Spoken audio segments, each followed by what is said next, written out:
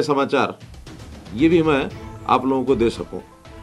इसलिए आज फिर साथियों, आपके सामने मैं आया हूँ और जैसा कोरोना के इस अवसर पर हम लोगों के लिए एक ही मूल मंत्र बताया है कि हम कोरोना के इस पीरियड में लॉकडाउन के इस अवसर पर सोशल डिस्टेंसिंग बनाते हुए अपने घर में रहें। दिन प्रतिदिन आंकड़ों में वृद्धि हो रही है। जैसा कल मैंने आपको कुछ आंकड़े बताए थे। आज उसी को मैं दोहरा रहा हूँ कि अभी तक हरियाणा के अंदर तेरह हज़ार लोगों के ऊपर हम निगरानी रख रहे हैं। और इन तेरह हज़ार लोगों में से वर्तमान में 323 लोग ये हॉस्पिटलाइज्ड हैं।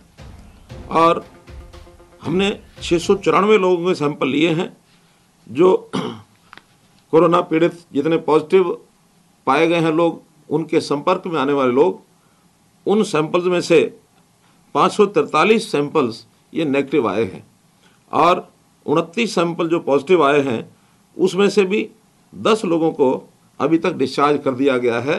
इस प्रकार मात्र 19 लोग अभी हरियाणा में पॉजिटिव केसेस ये रजिस्टर्ड हैं।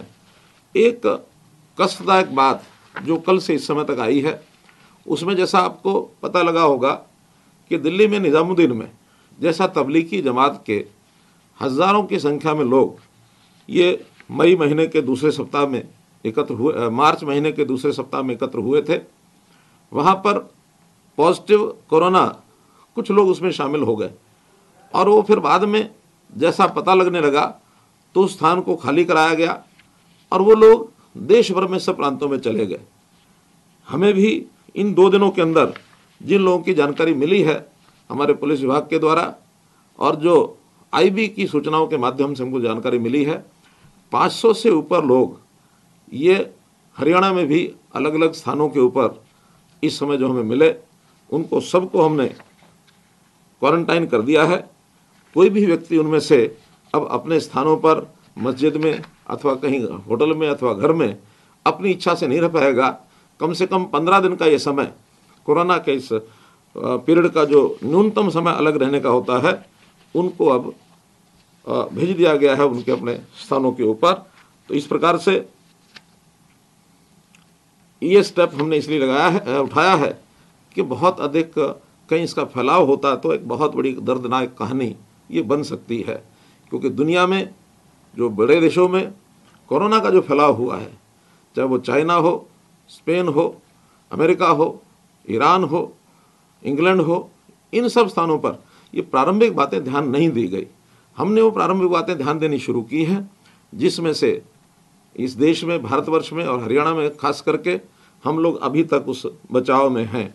लेकिन हम लोग इसकी और सावधानी बरतेंगे तो कम से कम ये जो हमारा इतने लंबे समय तक जिस में से हम बचे रहे, इस प्रकार के किसी भी बात के बचाव में हम लोग आएँगे। अब मैं आज विशेष एक बात के ऊपर आपका ध्यान आकर्षित करना चाहूँगा। कि हम लोगों को जैसे कोरोना के समय पर घर में रहने के लिए, परिवार में रहने के लिए एक प्रकार से बाध्य होना पड़ा है। किसी की भी इच्छा नहीं कि इतने लंबे समय तक वो अपने परिवार के अंदर रहे। आज हम परिवार के साथ रह रहे हैं। कोई लोग, कुछ लोग परिवार से बाहर भी जो इस बीमारी को दूर करने के लिए हमारी सेवा कर रहे हैं, उसमें काम कर रहे हैं, राष्ट्र रक्षक बन करके, वो परिवार के बाहर काम कर रहे हैं भले ही, लेकिन हेतु एक ही है। कि हम सबका परिवार सुरक्षित रहे, उनका परिवार भी सुरक्षित रहे। और जिस परिवार की मैं बात करूँगा, उसमें एक और कल्पना भी है कि एक परिवार, चार दीवारी में रहने वाला हमारा परिवार, माता, पिता, बच्चे, हमारे पति, पत्नी और और भी बुज़ुर्ग आदमी भी हो सकते हैं। इस परिवार के साथ साथ एक बड़ा परिवार, जिसको पूरे देश का हमारा परिवार है, एक राष्ट्रीय परिवार है, उस पूरे परिवार की हम चिंता करते हैं। और आज तो केवल राष्ट्र के परिवार की बात नहीं बल्कि दुनिया के ऊपर ये एक आप ये आफत आप, आपत्ति आई है। और हम तो ये समझेंगे कि वसुधैव कुटुम्बकम मानवता को बचाने का विषय है। इसलिए इस बड़े संदर्भ में भी बहुत लोग जो है अपने घर से बाहर काम में लगे हैं। उनके परिवारों की चिंता भी हम सबको करनी होगी। तो इसलिए आज समय इस समय ऐसा है कि हमको अपने समय को अपने घर में रह करके हर काम को करते हुए भी किस प्रकार से बिताना है, हमें उसकी थोड़ी चिंता करनी है। हम जीवन में कई बार देखते हैं कि अपने कामों में इतने व्यस्त रहते हैं और कभी कभी तो कहते हैं कि हमारे पास समय ही नहीं है, हमें परिवार संभालने का समय नहीं है तो उस प्रकार से परिवार को संभालने का समय नहीं, हम अपने जीवन में कुछ करना चाहते हैं उसके लिए समय नहीं, लेकिन चाहे दुर्भाग्य से आया हो, दुर्दैव से आया हो, इक्कीस दिन का समय हमको ऐसा मिला है कि वो जो शिकायत है प्रभु से कि प्रभु, हमारे पास समय नहीं है, हमारे पास पर्याप्त इक्कीस दिन का समय उपलब्ध हुआ है। इस इक्कीस दिन के समय को किस प्रकार से हमको उपयोग करना है, इसका बहुत अच्छा सुनहरा अवसर इस समय है। जैसे कई बार व्यक्ति में, परिवार के कुछ सदस्यों में कई बार बुरी आदतें होती हैं। उन बुरी आदतों को भी हम छोड़ सकते हैं। बीड़ी पीना छोड़ सकते हैं, सिगरेट पीना छोड़ सकते हैं, शराब पीना छोड़ सकते हैं। कोई भी बुरी आदत है, उसको हम छोड़ सकते हैं। और ये 21 दिन का समय ऐसा समय होता, लोग कहते हैं कि आप किसी अच्छी आदत को लगाना चाहते हैं तो आप 21 दिन का अभ्यास करिए। और अगर आप किसी बात को छोड़ना चाहते हैं तो आप 21 दिन उस बात को छोड़कर देखिए, वो आपका स्वभाव बन जाएगा। तो हमें संयोग से 21 दिन का ये समय मिला है। इस 21 दिन के समय को हम लोग को अच्छे कामों में लगाना है।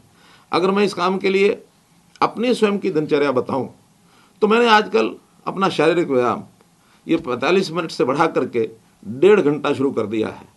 मैंने अध्ययन का चूँकि बहुत समय मिलता नहीं था अध्ययन के लिए, अध्ययन का काम भी शुरू किया है। एक घंटा नियमित मैं अपनी पुस्तक पढ़ने में भी लगाता हूँ। और इस प्रकार से बहुत से ऐसे विषय, जो शायद बहुत पहले हम करते रहे हैं, वो करने के लिए हमें समय मिलता नहीं था, लेकिन अब वो समय भी मिलता है। जैसे उदाहरण के तौर पर, मेरा कंप्यूटर पर बैठने का शौक है। लगातार की दिनचर्या में संभव होता नहीं था आजकल मैं एक घंटा पूरा समय अपने कंप्यूटर पर भी कुछ अध्ययन करने के लिए, कुछ अच्छी बातों को सीखने के लिए, देश दुनिया में बहुत बड़ा ज्ञान पड़ा है। उस ज्ञान को समझने के लिए जैसे हमें किताबों का अध्ययन आवश्यक है, ऐसे हम कंप्यूटर का भी उपयोग कर सकते हैं। तो इस नाते से ये भी हम उपयोग अगर करते हैं तो उस नाते से हम लोग आगे बढ़ सकते हैं।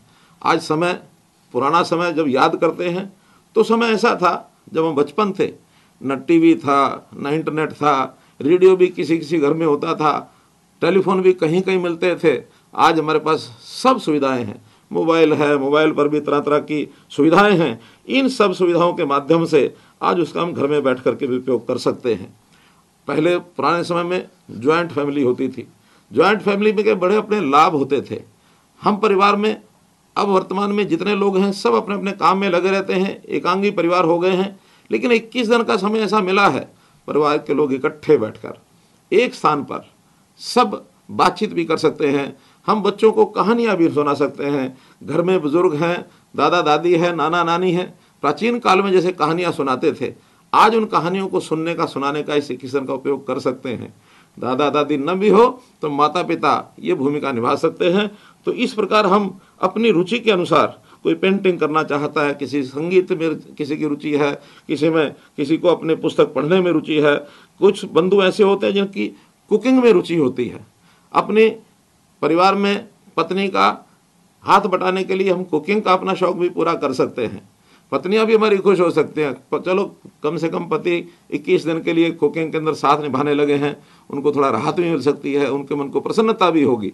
पति पत्नी के बहुत से ऐसे विषय होते हैं जो मज़ाक में चलते रहते हैं। मुझे तो उस प्रकार का कोई अवसर मिलता नहीं है, लेकिन जो परिवार के लोग हैं पति पत्नी वाले हैं, बहुत प्रकार के उनके मज़ाक चलते हैं। इस प्रकार के समय का उपयोग वो पूरा करना चाहिए, इसका बहुत बड़ा एक लाभ हमको हो सकता है। नई चीज़ें सीखने के लिए मुझे एक अपना अनुभव याद आ रहा है। ये 1980 की बात है। उस समय मुझे एक बार दक्षिण भारत जाने का मौका मिला। और दक्षिण भारत में मैं एक व्यवसाय में, काम में अपना करता था। तो मुझे इरोड, सेलम दो ऐसे स्थान है तमिलनाडु के। वहाँ मुझे रहने का अवसर मिला लगभग 20 दिन। जैसा अभी इक्कीस दिन का ये समय है, वो भी लगभग 20 दिन का समय मैं होटल में रहता था। वहाँ पर हिंदी की जानकारी लोगों को नहीं थी। अंग्रेज़ी भी कुछ टूटी फूटी कुछ हमको आती थी, कुछ वहाँ के लोग बोल लेते थे, लेकिन फिर भी इच्छा हुई क्यों नहीं इनकी भाषा सीखी जाए। तो मैंने उन इक्कीस दिनों में तमिल का ज्ञान प्राप्त किया। एक दक्षिण भारत की भाषा सीखने का अवसर मुझे जो 20 दिन का ऐसा पीरियड था, जब मुझे अकेले रहने का अवसर मिला वो मैं सीखा और आज उसके कारण से तमिल भाषी बहुत से लोग मेरे मित्र बन गए। ऐसे कोई भी नई चीज़ सीखने का, सिखाने का एक अवसर है। इस अवसर का हम उपयोग करें। परिवार में इकट्ठे बैठ के आनंद लेते हुए भी हम अपने समय का, यानी उसको व्यतीत कर सकते हैं। मैं एक छोटा खेल बताता हूँ आपको। परिवार के अंदर बच्चे हैं, बड़े हैं, सब पाँच छः सात लोग हैं। मानो मिल करके हम बैठते हैं और हम एक खेल खेल में एक एक अपनी ज्ञान का वर्धन भी कर सकते हैं, कुछ सीख भी सकते हैं। मानो सबके हाथ में हमने कागज़ पकड़ाया। और उस कागज़ पर कहा कि आप अपनी फेवरेट पाँच बातें ये लिखिए। किसी को कहा, आप अपने फेवरेट खेल का नाम लिखिए। किसी को कहा, अपने फेवरेट हीरो का नाम लिखिए। किसी को कहा, अपने बेस्ट फ्रेंड का जो अच्छा आपका फ्रेंड है, उसका नाम लिखिए। आपका कौन सा मनपसंद कलर है, वो लिखिए। आपका मनपसंद भोजन कौन सा है, वो आप लिखिए। आप कौन सी यूनिवर्सिटी इसको कौन सी को पसंद करते हैं वो आप लिखिए। किताब कौन सी आपकी पसंदीदा है, ये आप लिखिए। अपना अपना जन्मदिन लिखिए जन्मदिन लिखिए एनिवर्सरी के समय की कुछ घटनाएँ वो लिखिए, अगर शादीशुदा लोग हैं। तो इस प्रकार से अगर आप देखेंगे और जब सब कागज़ इकट्ठे करेंगे, इकट्ठे करके उनका पढ़ेंगे तो मैं आपको बताता हूँ कि ताज्जुब होगा आपको बहुत सी नई नई जानकारियों का, जो सामान्य अवसर पर आपको अपने परिवार के सदस्यों के बारे में भी जानकारी नहीं होगी कि मेरा बेटा, मेरी बेटी, मेरा भाई, मेरी बहन, उनके कौन कौन से शौक़ हैं, उनकी पसंदीदा चीज़ें क्या क्या हैं। तो एक खेल खेल के माध्यम से हम बहुत सी जानकारियाँ उनकी ले सकते हैं, उनकी कर सकते हैं। इस प्रकार मित्रों, इस समय का उपयोग हम लोग करें, इसका एक बहुत बड़ा लाभ ये हमको होने वाला है। कल जैसे मैंने बताया था कि हम घर में रह के योग प्राणायाम ध्यान इसके माध्यम से अपना आध्यात्मिक स्तर को भी ऊँचा कर सकते हैं। हम शारीरिक इस नाते से खेल खेल सकते हैं बच्चों के साथ खेल सकते हैं आँगन में खेल सकते हैं। अब बच्चों के लिए जब मैं कहूँगा तो जब बाहर बच्चों के पहले तो जाने का उनको अवसर मिलता था उस अवसर पर बच्चे अपना खुल करके खेलते थे करते थे। अब उन्होंने उनको घर के अंदर रहना पड़ता है और घर के अंदर जब वो रहेंगे तो उनकी मनस्थिति ये कोई आ, उनको लगता है कि अभी हम तो एक्सप्रेशन जो हमको फुल फ्रीडम थी एक्सप्रेशन की आज हमको सप्रेशन किया जा रहा दबाया जा रहा है। तो बच्चों का कई विकास रुके नहीं इसलिए उनको अपने सप्रेशन की बजाय उनको एक्सप्रेशन का एक अवसर मिले तो उन बच्चों के साथ मिल बैठ करके भी हमको अपना जो आ, समय है वो बिताना चाहिए। उसका भी बहुत बड़ा हमको लाभ होगा। और कई बार कुछ कृतियाँ कुछ गुण ऐसे होते हैं बच्चों के भी होते हैं, बड़ों के भी होते हैं, नौजवानों के भी होते हैं। उनकी कुछ कला की, कुछ कविता की, कुछ कहानी की, कुछ पढ़ने लिखने की इस प्रकार के शौक भी होते हैं। जैसा हमने एक प्रयोग शुरू किया है कि हमने अपने एक वेबसाइट बनाई है कि कुछ नौजवान अपनी कलाकृति ये हमको अगर लिख के भेजेंगे तो उसका उपयोग हम करेंगे और उनको, उनकी कलाकृतियों के हिसाब से उनको पारितोषिक भी प्रतिदिन दिया जाएगा। ये हमने कोविड संघर्ष सेनानी की जो एक वेबसाइट बनाई थी, उसी में एक प्रतियोगिता का ज़िक्र भी किया था। और बहुत सी कृतियाँ हमारे पास आ रही हैं। उनका हम प्रतियोगिता में चयन करा करके सौ रुपये से लेकर हज़ार रुपये तक का इनाम भी हमने रखा हुआ है। लगातार उनके पास भेजते हैं। मेरे पास भी बहुत सी कृतियाँ आई हैं अभी। मैं उसमें से कुछ कृतियाँ आपको पढ़ करके सुनाता हूँ। मनीष जोशी, पुत्र श्री रविंद्र जोशी, वार्ड नंबर तेरह, कृष्णा कॉलोनी, नारायणगढ़, जिला अम्बाला उन्होंने कृति भेजी है मुझे, और वो कृति है भले ही कुछ दिन तंग रहे, पर कोरोना पर जारी जंग रहे। आखिर अपनी खातिर इतना करना बस परिवार के संग रहे।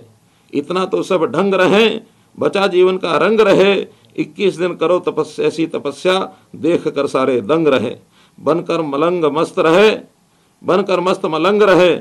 घर रहने का व्रत न भंग रहे। कोरोना जल्दी ही भागेगा, सजग समाज का हर अंग रहे। अब एक संदेश भी है। बच्चे की कृति भी है। बहुत अच्छी लगी कि कोरोना को लेकर के हमको एक उपदेशात्मक बात ये बताई है मनीष जोशी ने। तो इस प्रकार से इस बालक की इस कविता को देख करके मुझे लगा कि आपको ये मुझे सुनानी चाहिए। एक इसी प्रकार का एक और रचना उल्लेख करना चाहूँगा। कृष्ण राघव, पुत्र श्री शिवचरण सिंह, गाँव पालड़ा, जिला गुरुग्राम।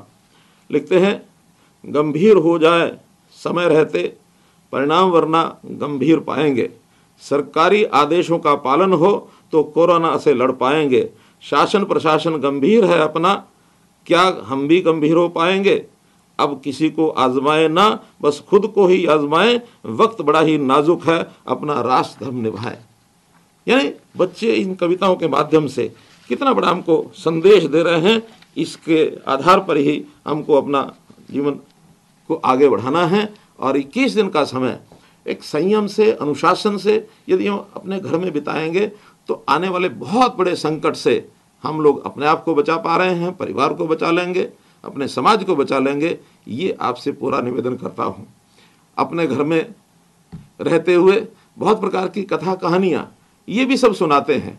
एक नौजवान की कहानी मेरे पास आई और वो कल्पना कर रहा है। कल्पना क्या कर रहा है कि कोरोना के कारण से किसी व्यक्ति की मृत्यु हो जाती है। वो जब मर गया तो मर, मर के परमात्मा के पास गया और भगवान को कहने लगा कि मैं आपसे बड़ा नाराज़ हूँ। बड़ा नाराज़ था भगवान से। भगवान ने पूछा था नाराज़ क्यों हो? वो आदमी बोला कि मैं वहाँ कोरोना से मर गया और आप बचाने भी नहीं आए। भगवान का एक प्रकार से भक्त था। तो उसको अपने भगवान पर यह रोष हुआ कि मैं वहाँ कोरोना से मर गया हूँ, आप मुझे बचाने नहीं आए। तो भगवान ने कहा कि अरे मूर्ख, कितनी बार तो आया था? भगवान सीधा सीधा नहीं आता, भगवान अलग अलग रूप में आता है। वो कहता कि कितनी बार तो आया था, कभी पुलिस वाला बन के, कभी डॉक्टर बन के, कभी सफ़ाई कर्मचारी बन के, कभी कुछ और बन के, वीडियो से आया, फ़ोन से आया, टीवी से आया, और जहाँ जहाँ से आ सकता था, आया, पर मूर्खानंद तू नहीं माना। और जब नहीं माना तो फिर ये हाल हुआ। अब तो कोई अर्जुन तो था नहीं कि मैं स्वयं प्रकट हो जाऊँ तेरे सामने। तो जैसा था, वैसा मनुष्य मैंने तुझे समझाया। समझ जाता तो मरता नहीं। भले एक कहानी है, लेकिन इस कहानी के माध्यम से एक सीख भी मिलती है और एक जिसने भी कहानी बनाई होगी, उसका अपना एक बौद्धिक उसकी क्षमता भी ये निकलती है, ये बनती है। तो इसलिए मित्रों, हम लोग घर में बैठ करके इन सब बातों को और आगे बढ़ाएँ और आगे बढ़ाते हुए हम परिवार से के साथ अपना जो लगाव है वो बनाकर रखें। कभी कभी परिवार के छोटे मोटे संकट होते हैं। सास बहू के झगड़े, पिता पुत्र के झगड़े भाई भाई के झगड़े और परिवार में बहुत बुज़ुर्ग लोग उस पर परेशान भी होते हैं। हम उनको भी निपटा सकते हैं। बैठ करके साथियों से बातचीत कर सकते हैं। हमारे परिवार में कोई वृद्ध है, वृद्ध को जब अकेलापन महसूस होता थोड़ा उसको बड़ा कष्ट होता है। आज हम उसके मन की बातें भी सुन सकते हैं। और केवल बातें ही सुने ऐसा नहीं, उनके अनुभव, पुराने अनुभव। आखिर जब कभी वो अपनी युवावस्था में थे, उस यौन अवस्था में, उनके किए हुए काम बहुत अच्छे अनुभव, भले वो पढ़े लिखे कम होंगे, लेकिन अनुभव की बातें बहुत अच्छी उनके समय की हमको मिलती हैं। मैं फिर से एक अपना विषय अपना किस्सा सुनाता हूँ। मैं जब सत्ताईस वर्ष का था तो घर से सत्ताईस नहीं, उस समय मेरी आयु तो मात्र अट्ठारह बीस वर्ष की थी। जब मैंने अपनी पढ़ाई बीच में छोड़ करके और दिल्ली में व्यापार करने के लिए मैं चला गया। तो मेरे दादाजी, वो सामान्य अपना काम काज करते थे, अपना व्यापार करते थे, उसमें से उन्होंने बताया कि बेटा एक काम करना, तुम दिल्ली जा रहे हो, व्यवसाय करते समय बहुत सी कठिनाइयाँ आएँगी। एक बात का ध्यान रखना, तुम्हारे पास जितनी अपनी पूंजी है, उतनी ही पूंजी बाज़ार से उठाना, उधार लेना, इससे ज़्यादा मत उठाना कभी भी संकट आ सकता है। अब ये ज्ञान उनको था जो हमको इतने वर्षों तक नहीं हुआ। लेकिन आज जब सारी देश और दुनिया की आर्थिक स्थिति को हम देखते हैं इकोनॉमिक अफेयर्स के लोग भी अब कहते हैं कि नहीं, हमारी हर प्रकार से जो मार्केट डेट का रेशो ये ज़रूर निश्चित होना चाहिए। मार्केट डेट के रेशो के बिना कोई भी, चाहे व्यवसायिक संगठन हो, चाहे वो उद्योग हो, चाहे वो सरकार हो कोई भी संगठन उस सीमा को अगर पार करेगा तो उसको हमेशा नुकसान होगा। ये बात आज से मानो लगभग चालीस वर्ष पहले हमारे दादाजी ने हमको बताई। कोई पढ़े लिखे नहीं थे, अनपढ़ थे। लेकिन ये ज्ञान उनको था। तो ऐसे ज्ञान की बातें भी हमको उन अपने पुराने लोगों से बैठ करके और ये ज़रूर सुननी चाहिए। इस प्रकार का अगर हम लगातार ये काम करते रहेंगे तो निश्चित रूप से हम अपने परिवार के अंदर अपनी आदतों को भी अच्छा कर पाएँगे। और अपने इस विषय को भी बढ़ा पाएँगे। आज मैं केवल इतना ही विषय आपके सामने रखना चाहता हूँ कि बहुत से ऐसे अभी अवसर और आएँगे जिसमें हमको सावधानी बरतनी होगी। और जैसा प्रदेश के नाते हम सोचते हैं कि प्रदेश की आर्थिक स्थिति, ये जैसे कल मैंने उल्लेख किया था कि काफ़ी गड़बड़ाने की संभावनाएँ हैं। जैसे पिछले महीने मार्च समाप्त होते ही हमारा रेवेन्यू कम हुआ। निश्चित रूप से अप्रैल के महीने भी, कम होगा। बहुत लोग तो कहते हैं कि आगे आने वाले दो महीने तीन महीने तक भी इसकी समस्या बनी रहेगी। और उसके कारण से मैं प्रदेश के सब लोगों से आह्वान करता हूँ। और आह्वान इस बात का करता हूँ कि हम लोग ये जो हमने कोरोना रिलीफ फंड बनाया है इसमें अधिक से अधिक सहयोग करें। इसमें प्रतिदिन लोग सहयोग कर रहे हैं। आज जैसे मैंने आंकड़ा देखा है तो लगभग 24 करोड़ रुपया कोरोना रिलीफ फंड में ये हमको प्राप्त हो चुका है। एक निवेदन हमने अपने कर्मचारी, सरकारी कर्मचारियों से किया था कि वो अपनी सैलरी का, बेसिक सैलरी का कुछ प्रतिशत अवश्य इसमें योगदान करें।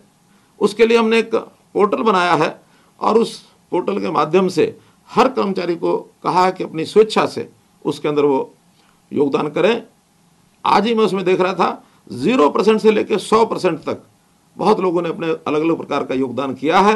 लगभग छियालीस हज़ार लोगों का इस समय तक योगदान उसका फॉर्म भरा जा चुका है, जो लगभग इस समय तक 24 करोड़ रुपए से ऊपर जिसकी राशि हो चुकी है।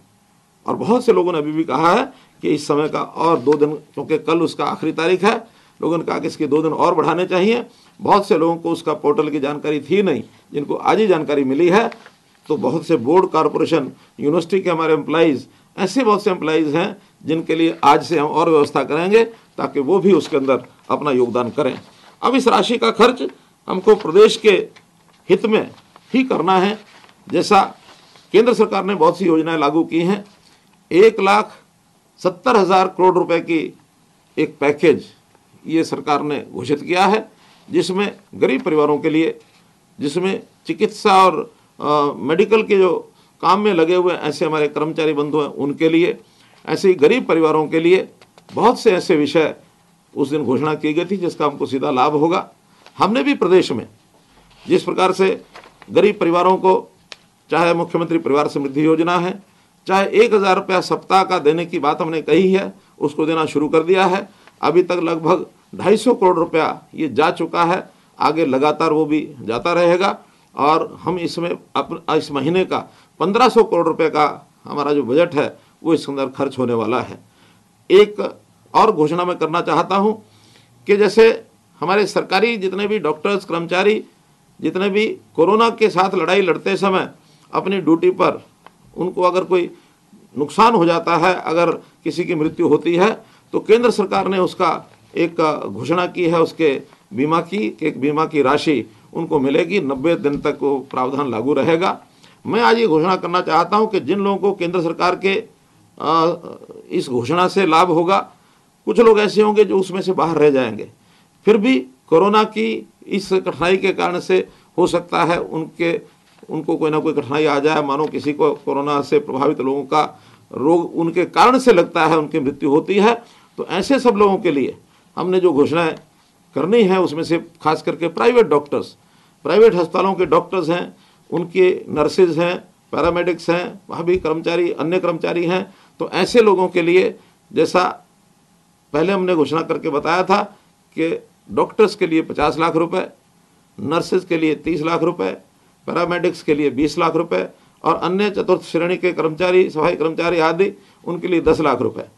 ये घोषणा प्राइवेट अस्पतालों के लिए भी हम लोग आज आ, उसकी घोषणा करते हैं ताकि प्राइवेट अस्पताल में भी किसी को कोई घबराहट ना हो। ऐसे संकट के समय उनको भी इलाज के लिए आगे आना चाहिए और कोई व्यक्ति कोरोना से प्रभावित यदि वहाँ पहुँचता है तो उसको निसंकोच होकर के और उसका टेस्ट भी करना चाहिए, उसका इलाज भी करना चाहिए, और यदि ज़्यादा सीरियस है तो उसको जो कोविड हॉस्पिटल है, उसमें रेफर करना चाहिए।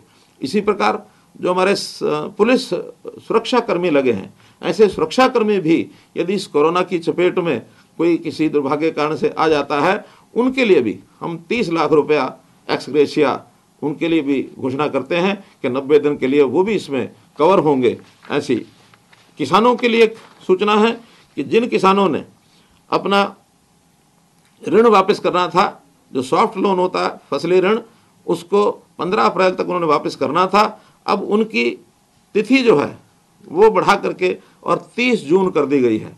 इसलिए 30 जून तक वो अपने पैसे को, ऋण को वापस कर सकते हैं, ताकि उनको जो इंटरेस्ट सबवेंशन है, उस पीरियड का उनको केंद्र सरकार का और प्रदेश सरकार का ये मिल सकेगा। इसलिए उसके ऋण की भी अवधि ये बढ़ाई जाती है। अंत में मैं आपसे अपील करता हूँ कि आप इन सब बातों का ध्यान रखें और कोई भी कारण हो, बिना कारण से घर के बाहर नहीं निकलना है। मैं अंत में दो पंक्तियाँ दोहराना चाहूँगा। गुलजार की शायर एक मशहूर शायर हुए गुलजार, उनकी पंक्तियाँ याद आ रही हैं। बेवजह घर से निकलने की ज़रूरत क्या है? बेवजह घर से निकलने की ज़रूरत क्या है? मौत से आँख मिलाने की ज़रूरत क्या है? सबको मालूम है, बाहर